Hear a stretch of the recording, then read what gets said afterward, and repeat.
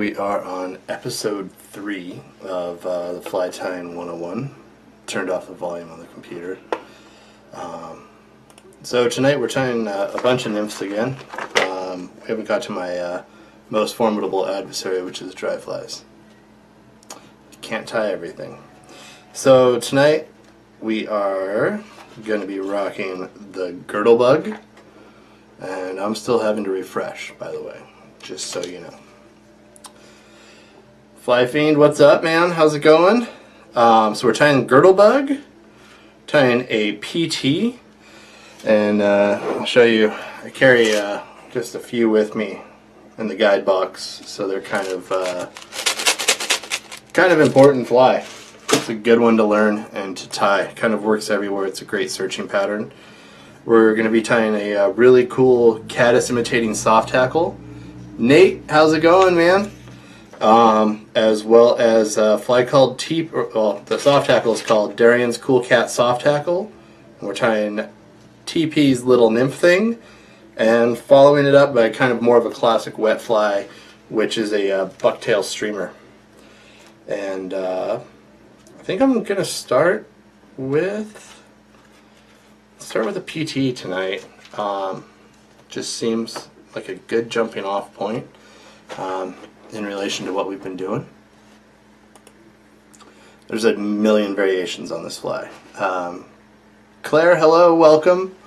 Glad you could make it. Um, one thing I do have to do. I remember there was a there was a wiener last week, and uh, trying to see where that name was here. I know I just put it on my phone. And let's see here. Sorry guys, I meant to have this ready, but uh,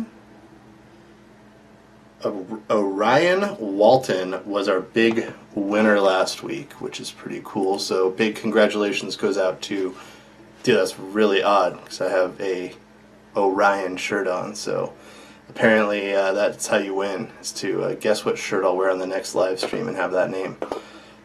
Lanny, hello, welcome. So um, yeah, so Orion Walton probably got an email from us already. Jordan, I would do the homework, dude. Just kidding. I'm sorry if I sound super nasally too, by the way, and look like uh, I've been run over by a tank, but uh, I've had pretty good fever, so you're lucky this probably isn't a live stream or a live event. But uh, yeah, let's. Uh, I'm going to scoot into my vice here, and uh, we'll get zoomed in. Oh, we're going to need to move the revolution over. So.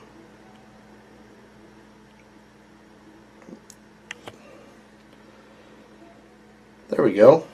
Cool. So a PT, it comes in about, like I said, a million variations. It's incredibly modifiable.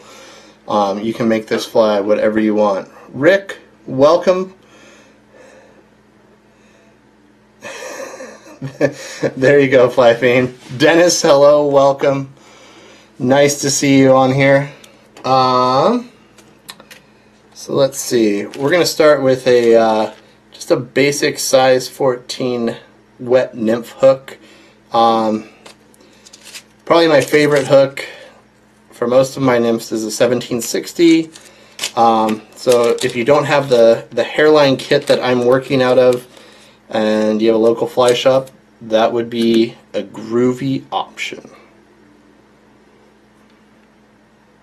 Okay. Do, do, do, do.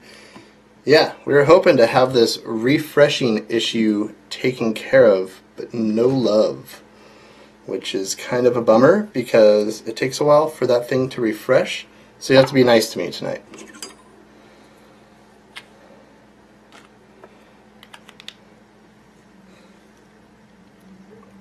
Mike, hello, welcome.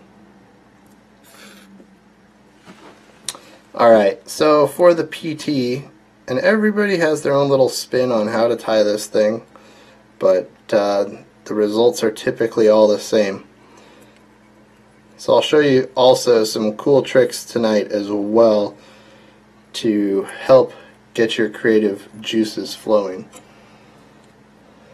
I don't even have all the tools out yet. This is crazy.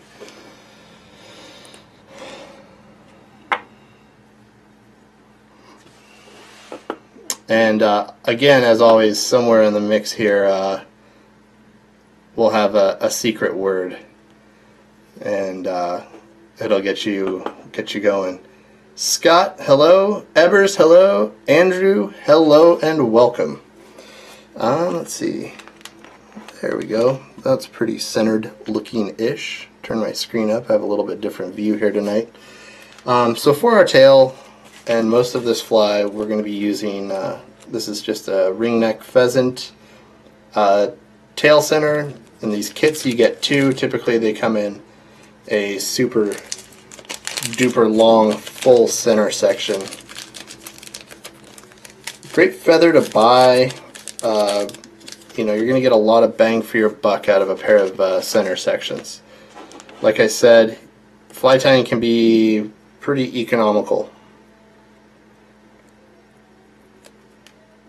and I'm going to take about five tail segments here. Now I, I just pinch about a quarter of an inch uh, in my left hand and begin to secure that. And that's going to create our tail there. And I move the thread in front of the rest of the pheasant tail section there. Doug, hello. Carl, hello. Made it for week three. Where's your bow tie? I know, I know. I'm getting heat for not having a bow tie. Believe it or not, they don't sell bow ties in Redding. I was, however, offered a bolero tie, but I felt like it wasn't quite my style. Um, it really just didn't do it for me. Doug, hello from Atlanta. I'm glad to know we have you here from Atlanta. I like it. Never been to Atlanta, but it looks like a cool place. So what I'm going to do is I'm just going to get that first turn in and I'll go ahead and, and wrap this forward. And I can you know you can build a little bit of a tapered body here if you want. You don't have to. But I stop this copper wire right where my first turn of pheasant is going to be we move it forward. Good evening John Welcome, David. Welcome, hello. And let's see here. We'll take a hackle plier. So you want to kind of grab these guys equally. You can see if you don't get them equal, you see how it has that bunch in there? Cause some uh, shenanigans.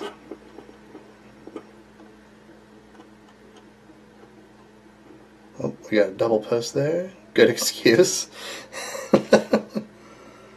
So sometimes they're just a little willy-nilly,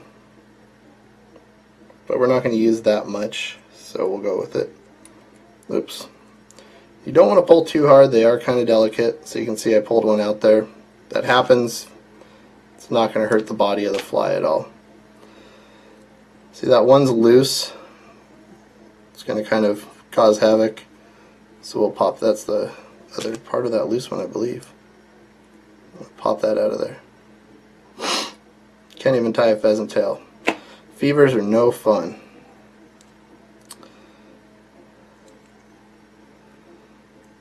So what I'll do is I'll wrap about, I like to do about two thirds. And then we'll come behind that, catch it, and it's ours now.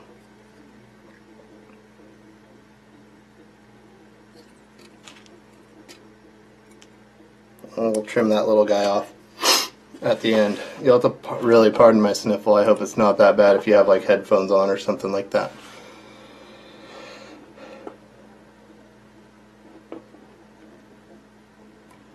Waiting to catch up here just a hair. I'm going to go ahead on. I like to counter rib these and that's just my own personal preference. Take your time. Do your spacing right. You know, you don't want your buddy to dig in your box and say, man, these all look silly. Um, just that couple extra seconds Um, you know, the whole speed comes with time kind of a story there. And we'll do a helicopter off here. It's some really tough wire.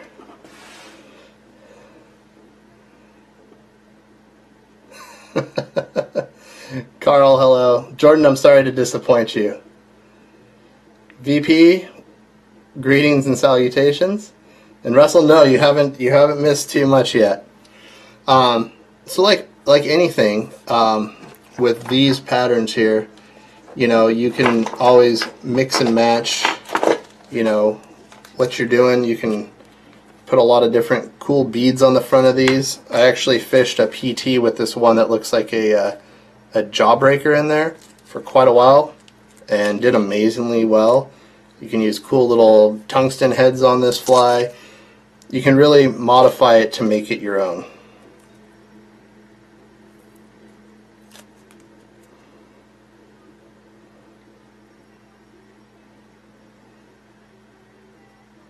So what I do now is I pull off, actually sorry, got a step ahead of myself, I get excited sometimes. Actually no, no I didn't. I'm all out of sorts. Um,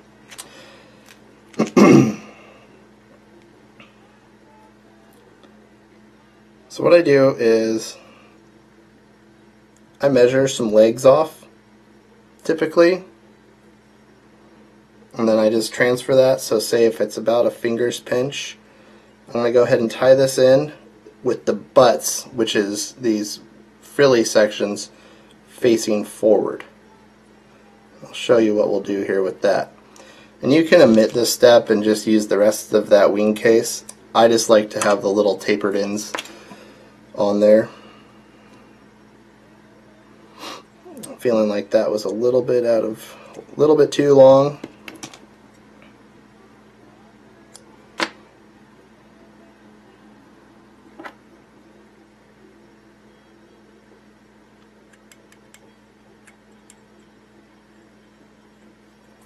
Okay. Next up, and that's going to form a wing case on our fly.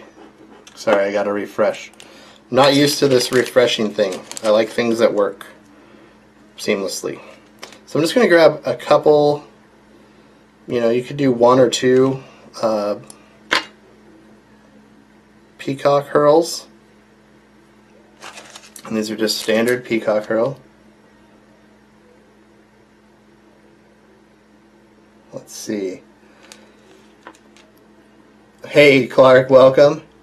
Nymph heads are pretty cool. When do I like to fish these, Rick? Um, well, that's a great question. I fish a PT um, pretty much all the time. Uh, I'm not very frightful of a PT. So I have a rule if I'm nymphing and I'm on a new river is that I will throw a PT. And what that does for me is I look a lot for like bugs that are sitting around. You know, say if you see a lot of small bugs, then maybe I'll throw a size 18 PT, something like that. You know, a little bit smaller. And, um, but realistically, anytime. It's a great general searching pattern. Um, it really doesn't, uh, you know, it can be taken for any number of bugs. It's just kind of got one of those, it's like a classic searching pattern. So I've caught big steelhead on these and you can really just can't go wrong with the PT. So what I do is I create the little little bubble back here. And I mean little. And I'm going to pull these fibers up and if we did it even we'll pull some over here and some over there lose one along the way. So you can see I wrapped them forward to create the head on the fly. If you get a little bit bigger head on this pattern, that's fine. It doesn't matter. It's still part of the fly. Um, and then we'll go ahead and whip finish this. And if uh, would have been intelligent and grabbed my 8 thread, it would probably be a little bit smaller of a head of the pattern, you know, head of the fly there. So you can see at this point now, you get this really cool little buggy scenario. I know, I know. Sorry, Dennis. David, oh, awesome. I'm glad you got the kit. So, if you want to spice things up, this is a, a UV resin. You'll probably see in the stores they have the epoxy back, you know, epoxy back, everything. So I put a drop on there first and foremost. That can actually be a substitute for your head cement as well. Um,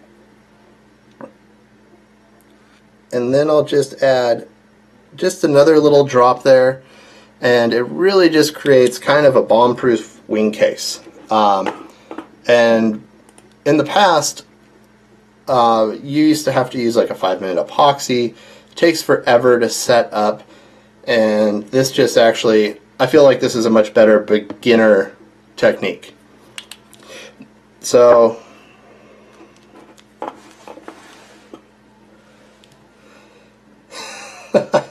I am saying PT, not petty.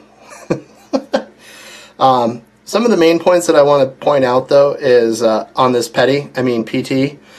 Jeez, Cheech, you got me now. Um, is uh, I like to have a really small body and just a barely larger, you know, thorax. So you want just that really thin profile um, and have it be really kind of classic and small.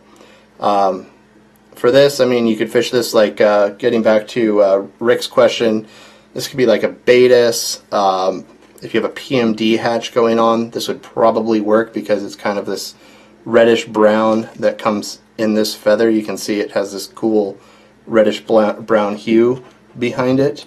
Um, so the versatility of this is just phenomenal. I guess I need to leave that out because it's probably going to be in our next pattern somehow too.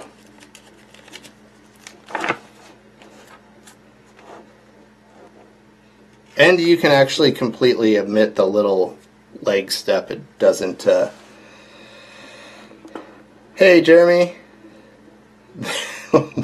Welcome to trolling Matt on fly tying 101 and heckling. I like it.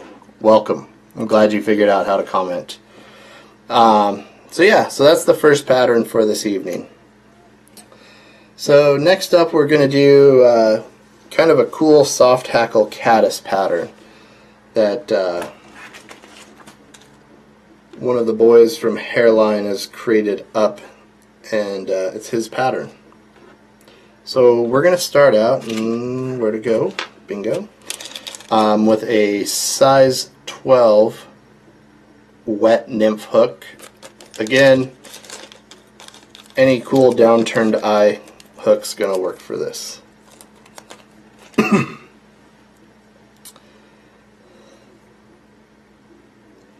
going to switch my thread really quick. It calls for a black thread. If I was Cheech, I'd just have a thousand bobbins just sitting around, but I'm not that cool.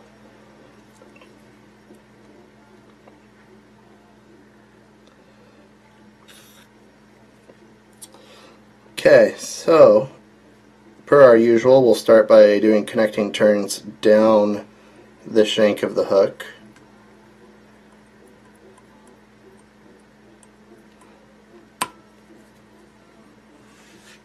And once we get there, we're going to use some Hungarian partridge feathers. And we're going to create a tail out of this. So here's just a natural bag of Hungarian partridge. Nope. Hey, Dustin, hello, hello. Jeremy, it was Orion Walton was our big winner. From last week. So congratulations again goes out to Orion Walton. Um, and I'm going to peel off just a small smidgen, so like an eighth of an inch of these partridge feathers, and give it about an eighth of an inch of the back there. And I'll just go ahead and loosely secure this in. It's not going to get pulled out by a trout. They're not going to like bite the tail of this thing and pull out so you don't have to do like rock star turns um, going forward. Nobody's going to see this. Um, and next up we're going to use some more of our just basic copper wire here.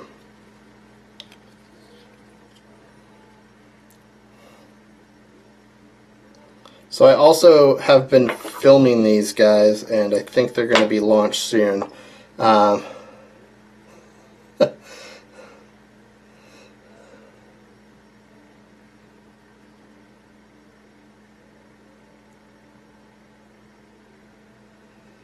Scott, that's pretty true. The light does make a difference. How much was the kit? Um, I think there's different levels of the, the, the kit, Luis, that you can get. Um, I think it. Uh, I think it, I forget what they start at. Um, I think it's like eighty bucks, but it gets you gets you enough to get rocking for sure.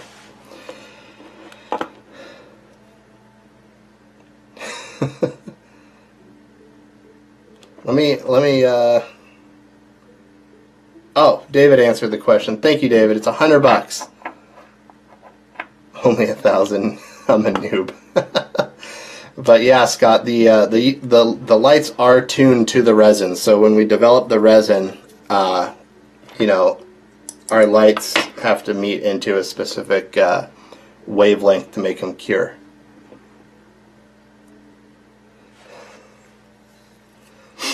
So, all right. So next up, we're going to use some more of our peacock herl here. I think the hundred dollar kit though is the one that comes with the vise and um, all the tools as well, which you know is a great start off point. So I'm going to tie in this peacock herl and we're going to wrap about halfway forward.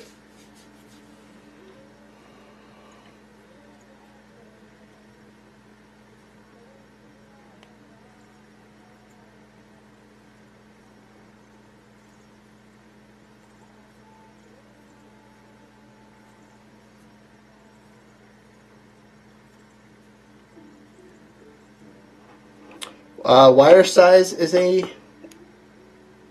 medium. Sorry, Claire, forgot to clarify that. Um, bobbin for people with large hands. Um, I have Samsquatch hands, and uh, I use the bobbin that I designed, which is the Loon bobbin. Uh, there are a number of other great ones out there. Uh, the Hareline uh, tungsten tubed bobbin is pretty darn legit. Um, it's what I use quite often as well. Um, best thing to do is just cruise to a fly shop and um, check them out. So next up, we're going to go ahead and just wrap through this with our wire. Again, go pretty mellow. Not a race. Nobody's timing you. It's supposed to be a relaxing event unless there's like a thousand people heckling you. But uh,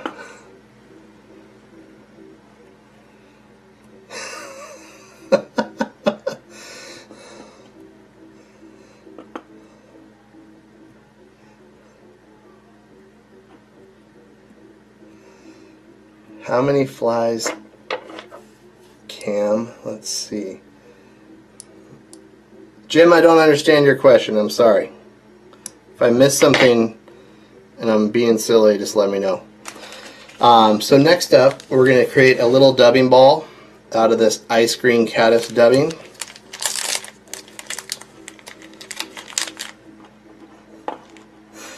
Uh,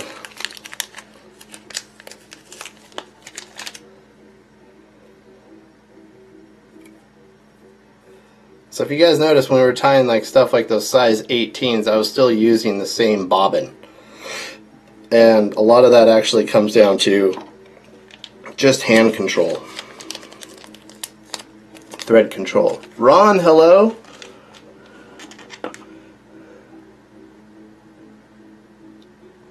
Where do I send the bolo tie with fish ends? I like it.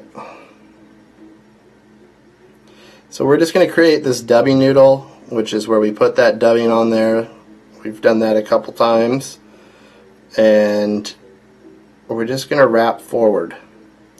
I like to go over with ice dub, depending on the body that I want to make. and then I'll come back right into here and build a really smooth little thread body. If you have some of these willy-nilly guys going all over the place, don't worry about it.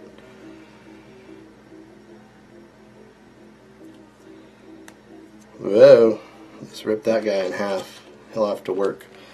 Next up, we're going to use, kind of like we did on our uh, partridge in yellow last week, we're going to use this uh, Hungarian partridge fruit collar. Ron, I think I said hello, but if I didn't, because I'm refreshing and it confuses me, um, because I have the ADD, hello.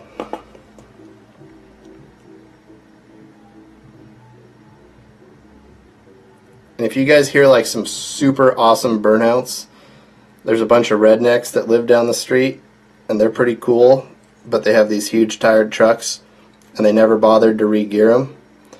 So like, when it's wet, it's like the only time they can pull off a burnout.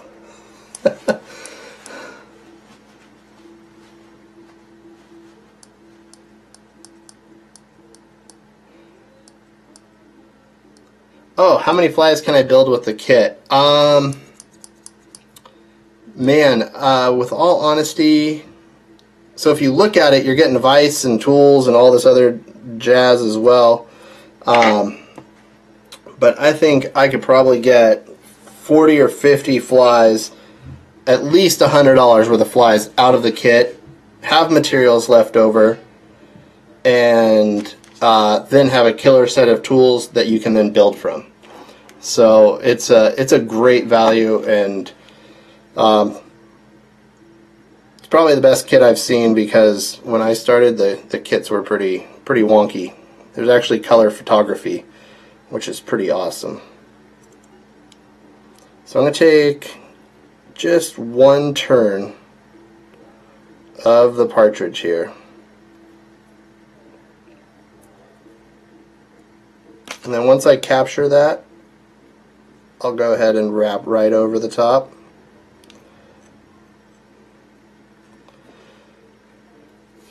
I'm going to cut off the rest of our stem here.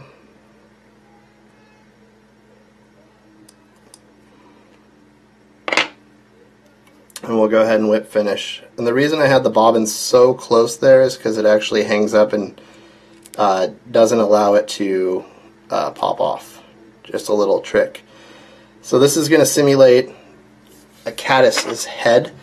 Um, they have darker black brownish colored heads. And uh, that's going to simulate that. So you could use uh, standard water-based head cement if you're impatient like me because of the ADD thing again. Um, I'll just put a drop of our flow resin on there.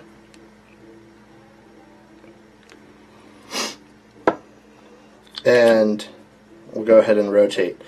And yeah, so so Scott, getting back to your question and statement about uh, UV lights and everything like that, um, just because it seems seems to me that every beginning fly tyer um, that comes into fly tying right now um, versus say when I started tying has so many more resources and avenues to gain information like watching a live stream, watching a guy's YouTube videos, going to an event or a show, watching everything. Um, and your learning curve is just like ramped up and you're seeing guys that have been tying for like two or three years with amazing skill levels. So um, I'll, I'll touch on the, the differences in UV lights. So you can get the one that has, you know, like this, you can see in there there's one bulb. Now, you'll see the ones that have like 80 bulbs, and you're like, oh wow, that has to be great. The intensity of those bulbs doesn't multiply because there's 80 of them. The actual chipset has to be a better chipset to make it, uh, um, you know, make it a better light. So hopefully that can help kind of clear some stuff up for guys. Um, John asks, West Coast rednecks. Yeah, you'd be. Uh, uh, uh, Jeremy asks, when do I fish this pattern? Um, this is a great pattern uh, in the springtime anytime the caddis are around, it kind of emulates um, like a cased caddis pattern. So you could change this to a cinnamon with brown thread um, because uh, a lot of our caddises, they build little uh, houses around the, their bodies to protect themselves. um, like your grannoms and stuff like that. So you can do all sorts of cool stuff with these, um, you know, as far as colors go as well, just by changing this color of ice dub in here. Um, but I would fish these. There's caddis in the river at any time. Um, they may not be hatching on the surface. They, they're still crawling around on the bottom, getting dislodged. The fish recognize them as food. Um, so again, with a soft hackle, a bright spot, and this general shape, it's something you can fish anytime. It's uh, really a cool, cool pattern. I like it, and it's a soft hackle, so it's uh, it is what it is. But yeah, we do have West Coast rednecks, especially in the Northern California.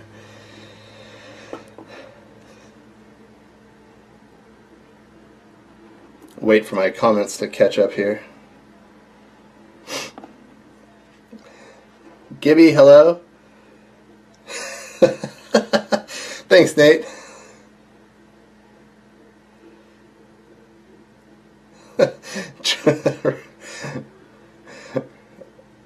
right on, Jordan. Yeah, Luis, uh, Hareline sells the kit through uh, a number of uh, distributors, not directly though.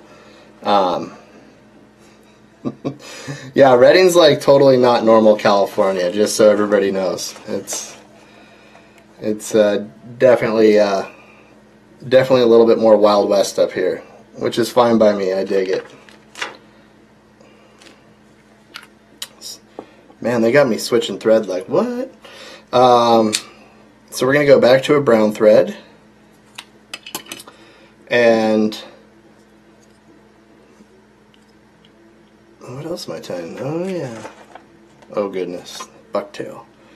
Um,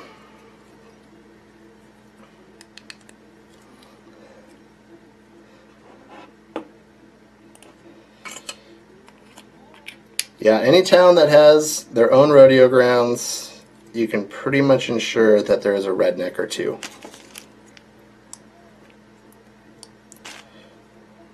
With the big truck that's like super polished.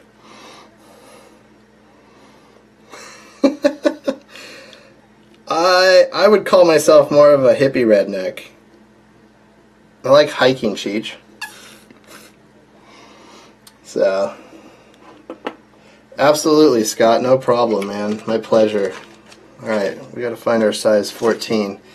Um, so again, we're going back to our size 14 nymph wet hook, and this is going to be uh, TP's little nymph thing, and Terry actually, wait, Terry. Where am I getting that? Tracy actually works for Hareline, so this is one of his patterns.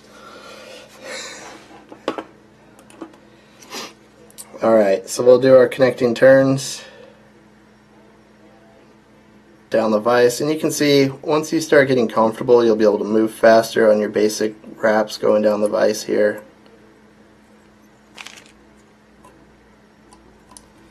So although your hooks may run out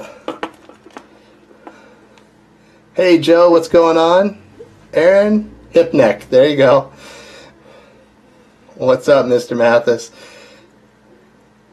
Oh, the magic word of the day? I'm not ready to let it go yet. I haven't figured it out. I actually I know exactly what it's going to be. It's going to be good.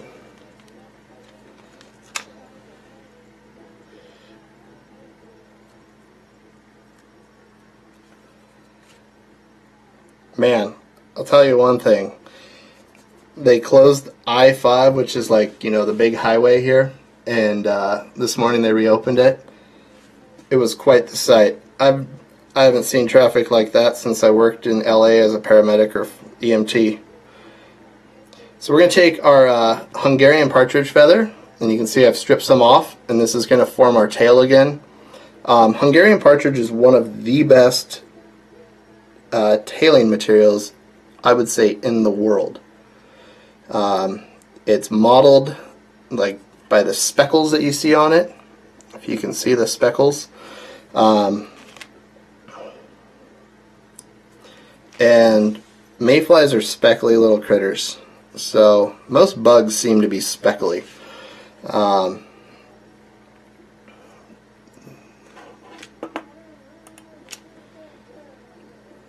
and next up we're going to put in some of our medium copper wire again.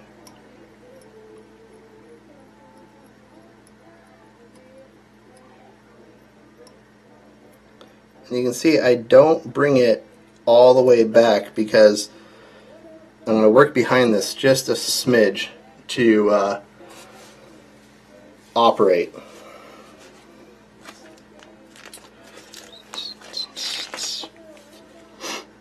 This one's kind of technical. We've got a lot of materials that go in this. So I'm going to take three strands of our peacock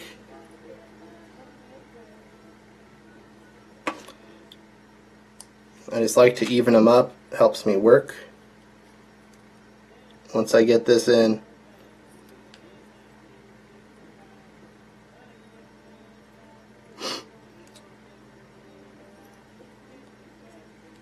Okay, we'll do a refresh here, make sure I keep up on these comments. But Cheech just handles them all for me anyways, so that's awesome. So you can see these guys are sticking out the back right now.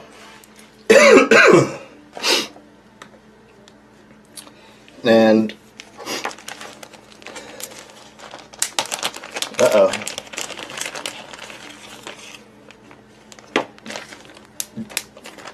I am not a rodeo clown. Little known fact though, my dad was a pro bull rider. He's not six one, so he made it into uh, pro bull riding. uh, do I stay with the same type of thread most of the time? Um, for my personal tying, I do. Um, but I'm actually like an incredibly weird human. So um, typically they do, uh, you know, you can change quite a bit uh, just depending on your patterns. But if I'm tying brown nymphs, you know, and I'll just stick with a brown or a black thread are probably the two of the most common. Only you only make Mr. Evers call Mr. Firehole. If I had to choose one thread to use, what would it be? Um, it would probably be like an 8-aught black. So that would be my thread of choice. So something like something like that. You're not going to go wrong. It's not going to really mess you up. Um, without getting into GSPs and all sorts of fancy threads.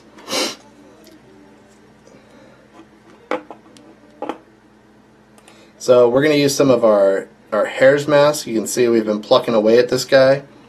And for the back of this fly, I want to come down here.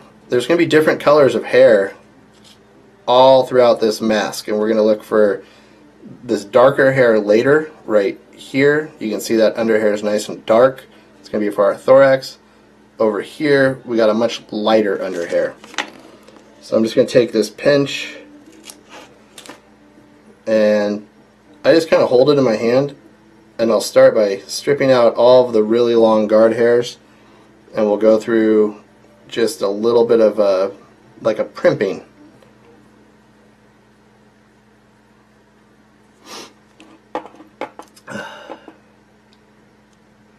For the word. Oh I imagine I heard Boise was cold Brandon hello? What did I just tie in? This is uh, Peacock Herl. Sorry if I forgot to state that. Um, so the word for tonight, because we are listening to some Old Crow medicine show, is banjo.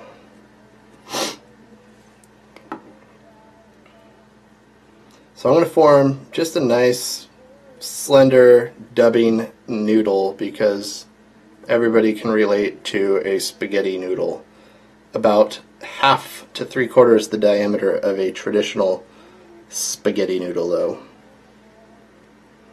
And what I'm going to try to do is work this forward so that we have a progressively larger body If your dubbing comes apart, you can just keep working your thread through. It's fine. It's not going to hurt.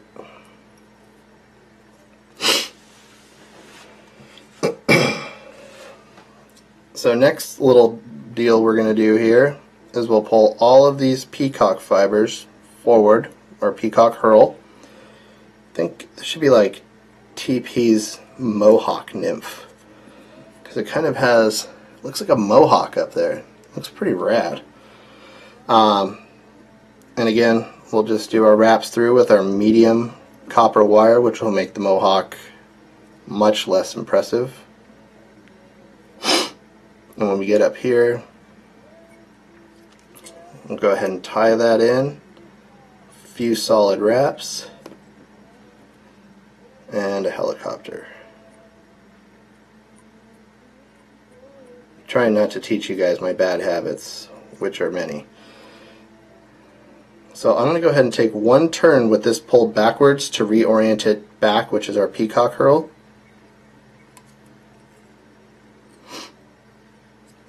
And next up we're going to dive into some of this, uh, man I got an F5 more. I keep looking at it and I'm like, oh nobody's commenting. Throwing me off. Cheech probably making fun of me right now. Can't miss it.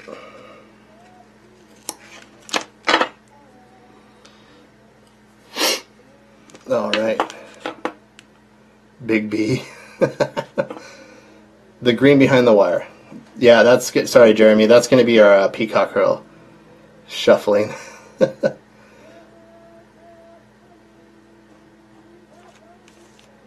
Let's see. Yes, Cheech. Band Joe is the proper spelling for banjo.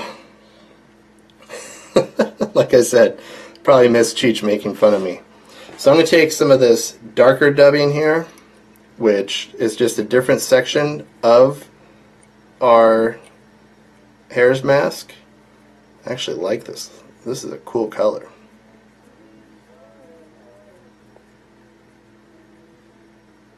And if you have trouble getting your dubbing to stick on there, there's dubbing waxes. We make a product called Swax. Super sticky. Um, it'll stick everything together. And you can see I just get a nice little area built there.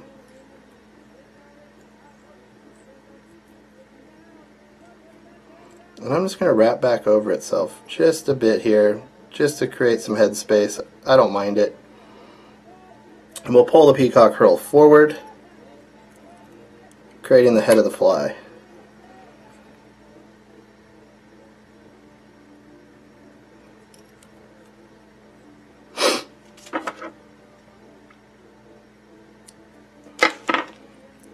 So this is really like a cool, you're getting some extra flash without adding flash to like a really cool little hare's ear style pattern with a little bit more behind it.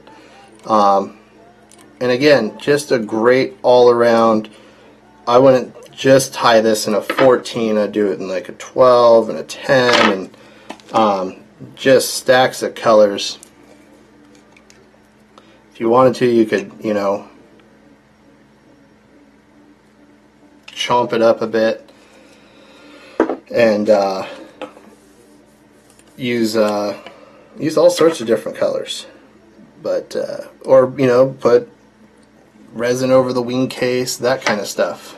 Um, whatever you want to do. Sky's sky's the limit when you're tying flies. You're the you're the puppeteer here. So I will pick out some of these guard hairs that I've left in. They're very short.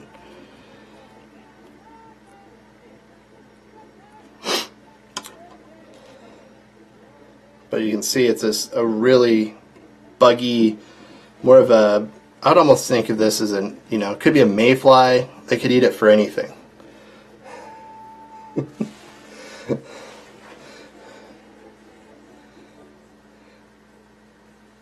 no, no, John, I'm not, not from Missouri.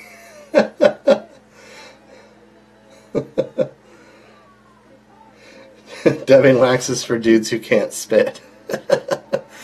there you go. There's Joe's thoughts on that.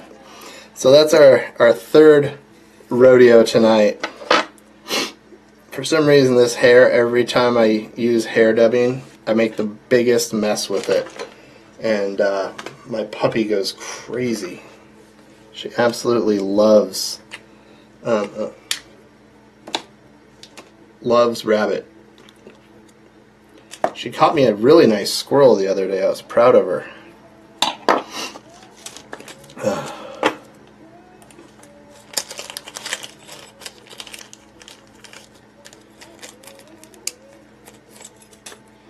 Okay, so this is going to be kind of a little bit of a different, more classic pattern. This is a uh, streamer hook size 6. Actually, my actually, John, my favorite launch here. Oops, should be looking at this, not the comment section. On the lower Sacramento River, which is where I live, is uh, the rodeo grounds. It's pretty cool, actually. Except for they shut it down when the rodeo comes to town. Then you have to pull covert operations in your Watermaster rafts. So I'll do connecting turns all the way down the shank of this long streamer hook.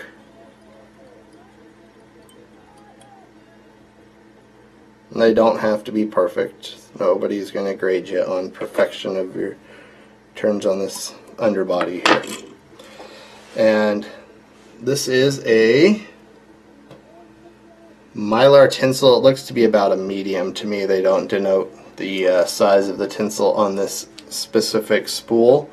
Um, this has a cool little rubber band on it. Yeah, you don't want to lose that. So what I do is I actually just pull it off with the rubber band attached. And so it's kind of interesting. You're going to have, if you can see, you have a gold side and a silver side. So you want to tie it in gold side or actually I'm sorry. You want to tie it in gold side out. And now this is a great trick to get comfortable with. You want to have a smooth smooth smooth body here. And if you hear three-year-olds pleading with their mother in the background I apologize. I do this from home after hours. And uh, we have a three-year-old who thinks he never needs to go to bed. Add some DNA. exactly, right? Um, so this is just going to be a multi-stranded floss. This happens to be uh, a 900 denier, four strand, or no, 1200. Jiminy Christmas. That's that's significant. You did hear Watermaster. Absolutely. That is like my uh, my ninja craft. I like to heckle the local guides. I put on my my super cool guy sun buff and uh, sneak down the river in that. So I'm going to tie in this, this floss and you want to make sure that this is as smooth as possible. So now this technique here specifically is incredibly handy.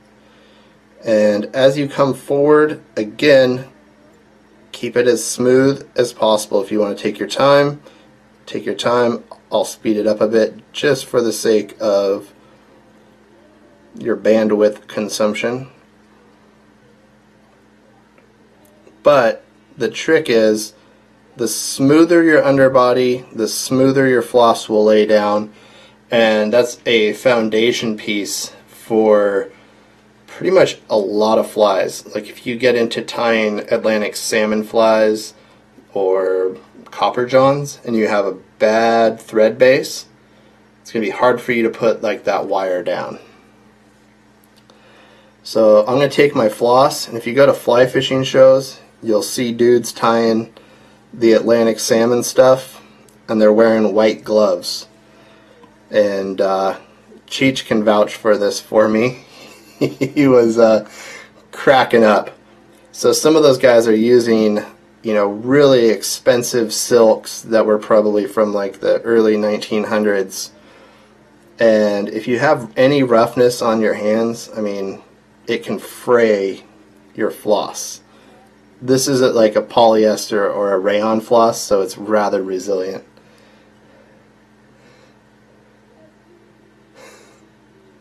Got any tips with body quill? Um, yeah, I do. we'll save that for the advanced class. So you can see again, I'm just making sure these flosses lay out nice and flat.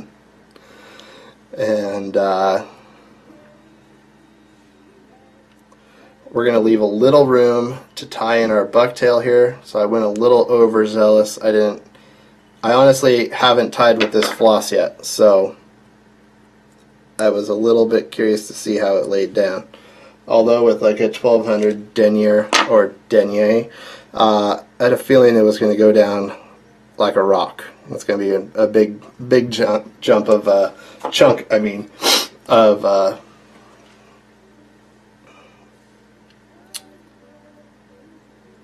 floss. So next up, we're going to take our wire, and you can see you take your turns,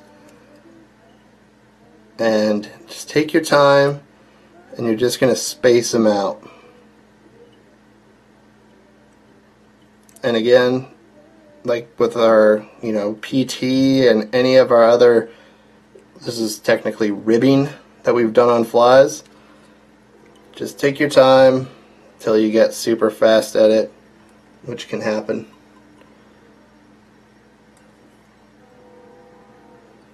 And even if you leave a little extra like I did, don't worry. Set it down if you're tying more than one fly. Um, you can figure out an algorithm to where each fly is going to take you X amount of inches of wire and you can actually cut and prep all of those. So, ninja stuff, Cheech, ninja. So, next up is we're going to start using some bucktail, which is a uh, just a classic, classic material.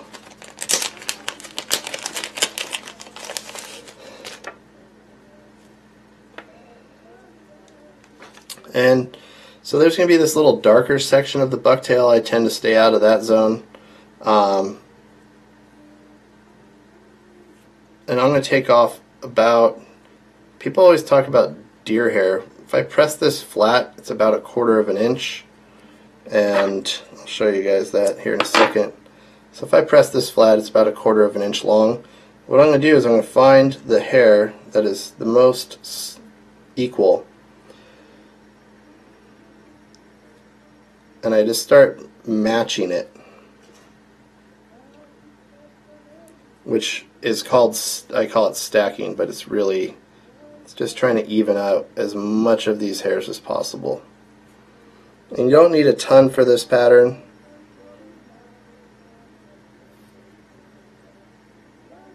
So we'll take one good wrap make sure it's in the place you want it and we'll do a few behind that.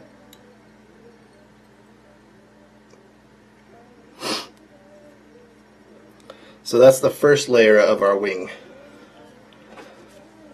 Ninja. Love ninjas.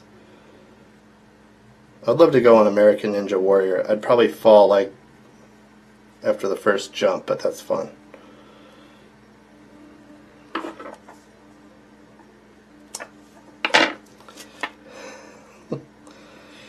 so again, I'm just going to loosely pull these guys apart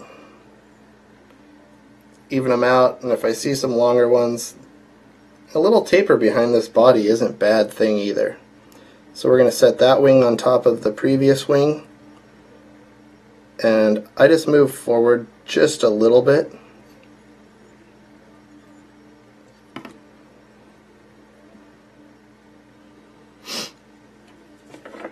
And last but not least we'll do some more yellow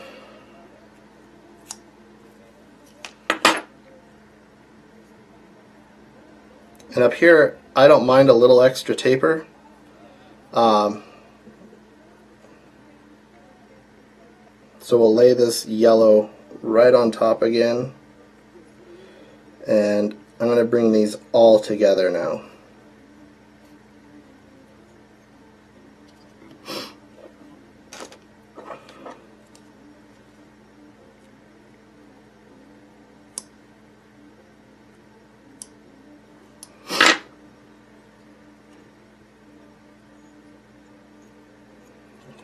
You can see I trimmed out some of those bottoms. That's just to kind of smooth out. And these older patterns, like these old patterns like this, they don't have smooth little tiny heads. They're kind of big wonky uh, dills.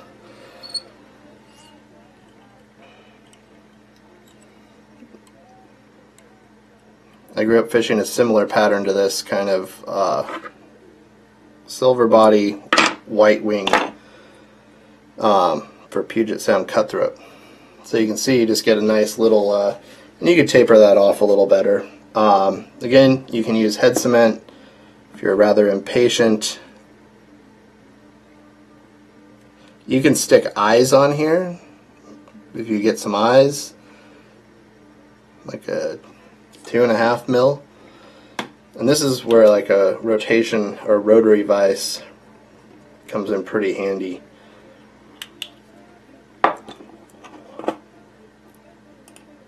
And there you go. Just a real basic bucktail streamer.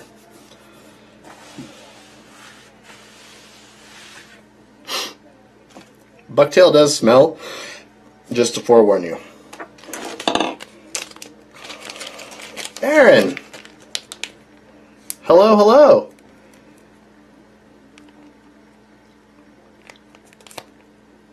If I wore a buff with no shirt, I would win Ninja Warrior. Either that or blind all of the people in the world and they would see like some flabby arms. You nailed it, Evers. Buff is considered cheating. so, post chat. Jordan wants to know what this is called. This uh, this is just called a bucktail streamer. Just a standard old bucktail streamer. Pretty. There's a whole series of patterns that are based off of this long shank style like this. Um, gray ghosts, stuff like that. So it's a pretty cool things. Thanks, John. Appreciate it. All right. So the next fly is uh, probably one of my favorite favorite flies in the entire world.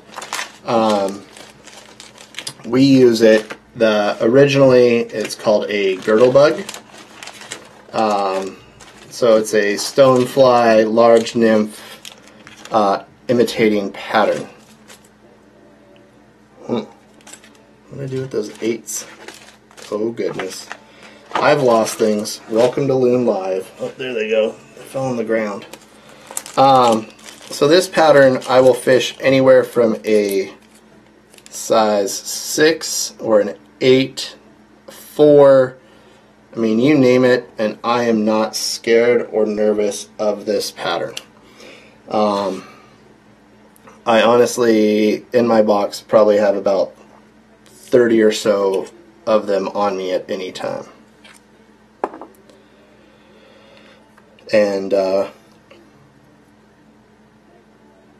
it just represents a big meal. Um, so I have some buddies here that are from, you know, fly shops and stuff like that. And uh, one of the guys might show up here on a live stream in the future. Maybe our next one after the 101 class.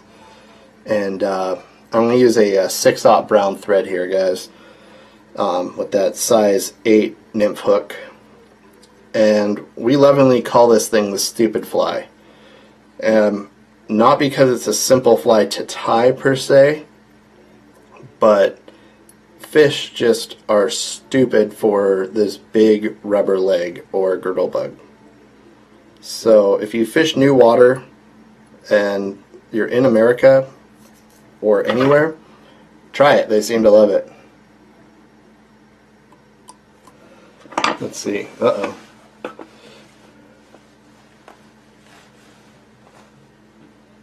Scott, you'd be surprised, man. Um, I can't tell you um, how many fish, like Cheech said, I mean, I'm throwing stuff that's six, seven inches long and, you know, an eight inch fish eats it.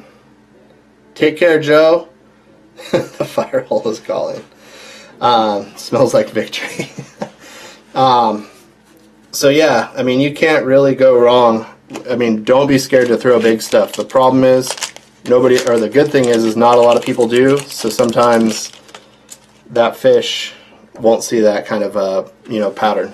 So it could be really beneficial for you.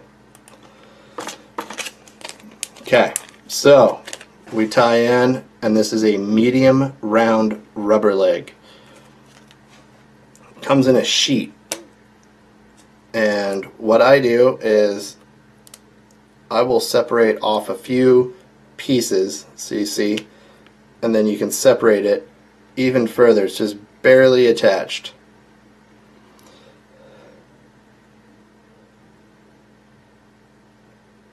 Luis asks who won. Uh, Orion Dalton, Luis. The bucktail is for trout. You could use it for salmon. Heck, I'd swing that for steel steelhead. I would. I think they'd eat it personally. Um, do I crimp the barbs? Yes. If you get a nice pair of heavy duty pliers at your bench, you can easily pop in there, crimp the barb. Oddly enough, I think there's a lot of waterways that don't require you to to this day, which surprises me. So I'm going to take about two inches of this round rubber and I like to put it in half. The reason I try to make sure it's in half when I put it on is because it's one less cut that I have to make. And my trick is, is I will pull tension on it as I wrap it down one side. I'll rotate this guy over to the opposite side. I like to think of things as like a clock. So if we are looking down the front of this fly, coming this way, we're at 3 and 9, and you're going to get a nice split tail. So next up, um, is our chenille. This is a variegated chenille, which means it's two-tone, and this one is black and coffee. So they'll have these with, you know, green and olive, golden brown, purple and pink. It all works. One of my uh, one of my best versions of this that I like to fish, see, rabbit fuzz everywhere, is a full purple one. Fish eat it. There is no such thing as a purple salmon fly nymph or stone fly nymph in the world that I've ever seen.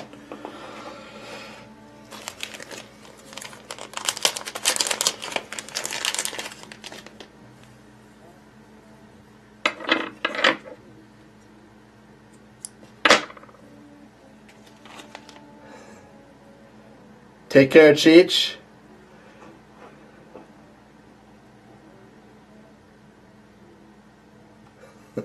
String licorice. Yep, exactly. Um, so you can tie all the legs in and everything like that. I don't bother uh, working back and forth down the hook shank that much in the initial stages of this fly. Um, I know my legs are going to end up right about here. You can do just four legs. You can do six legs.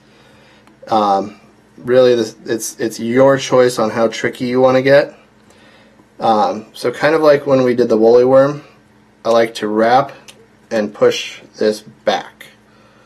Um, if you want to add weight to this, you can use a lead wire, a non-lead wire. The choice is yours.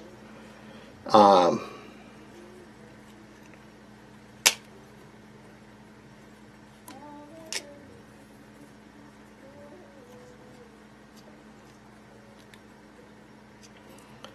so I'm going to vary from the book here just a hair because I'm naughty. But I'm going to add, I like having six legs. Just personal preference. Ugh.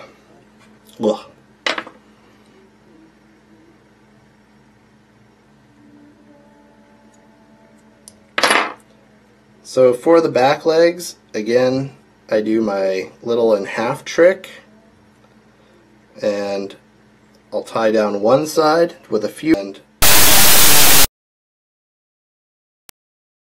leg it out at uh, 9 and 3 if you remember from what I was saying. And at this point I'll go ahead and put in the rest of our legs and our antennas. So I'll just take this in half and I'll wrap it in for one side.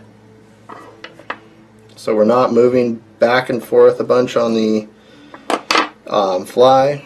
And these I'm not measuring out to be totally perfect. I'm just putting them in half. Um, I'll show you why. So you can see I'll separate this out here. Oop, cut that a little bit and then I'll wrap up towards the front. Needs more purple. Exactly. Got flies to fill in. Yeah I want to see all those new bugs Cheech. I'd like some of those for uh, my box. Thanks. So next up we'll do the same thing we did with the tail just in the front here and you can see all these legs kind of get willy-nilly. Uh, kind of all over the joint. Don't need to don't need to stress out. So the reason I don't tie all my legs in when I'm doing the back half, I just do it when I get to the front, is because you now have to work through these, which is okay. It's not horrible.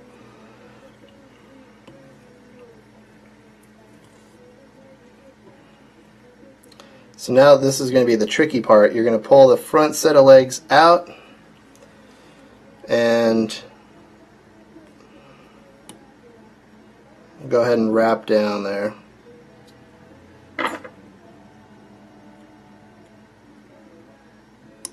Don't cut your thread. Um, and then I'll just do a few wraps up here around the bottom of the, the head.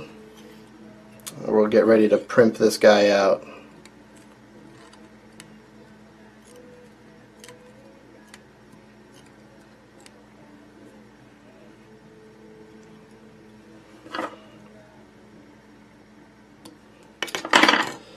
So I'll be impatient on this one and I'll just put a dot of resin in there.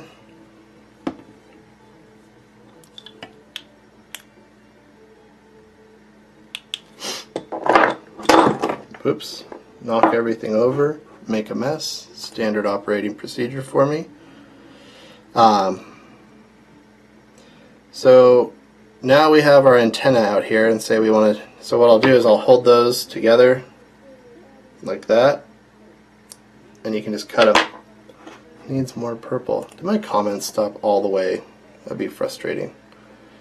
Um, and now for our legs. Typically what I'll do so I like a lot of leg so I kind of bring them up. Just like a haircut.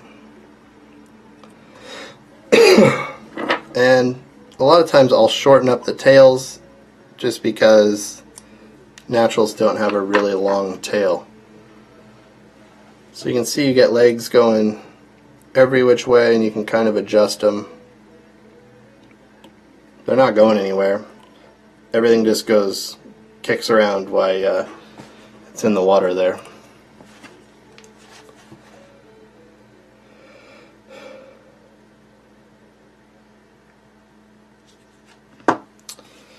Alrighty, so that is the girdle bug. Needs more purple. Alright, I guess I'm caught up on my comments. So I think that marks our fifth fly for the evening. Next week, let me uh, zoom out here. Oh, I'll scoot back so you guys can see me and I don't look that freakish. Um, next week we're going to be finishing out. Looks like we're going to do a parachute uh, type fly, a comparadun, uh, an Adams. Should be fun.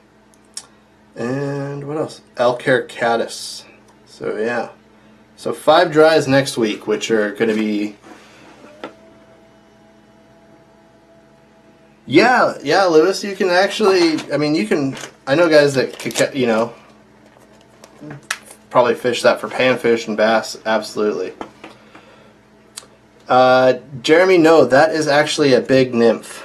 So, um, when the salmon flies look like this, they are juveniles and um, are living under the water. They actually take uh, three years to become mature and hatch. So it's a it's a pretty massive bug, um, and and that size. I mean, in comparison, like you can see it against my hand, it's a size six. That's a small one. That's not even a big salmon fly. Um, you can see in the comparison here, all fish salmon fly patterns. You can see the difference in the, the hook length I will fish them a full two and a half inches long um, without any sort of an issue. And uh, you can add weight to it and all that stuff as needed as well. But uh, yeah, so next week we're going to be doing um, a ton of dry flies, which is really fun. Um, kind of some of the hotter dry fly. um, thanks, Carl. Thanks, John. Um, some of the better dry fly patterns. You're more banjo. Jordan, you're nice. You're helping people out. I like it. Um, I'll send extra good karma your way for uh, for the drawing. so yeah, next uh, be sure to log on to the Loon website.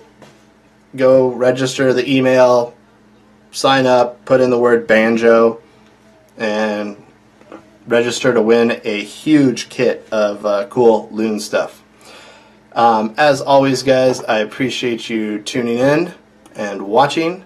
Hopefully, you've learned some fun stuff and uh, to go work on.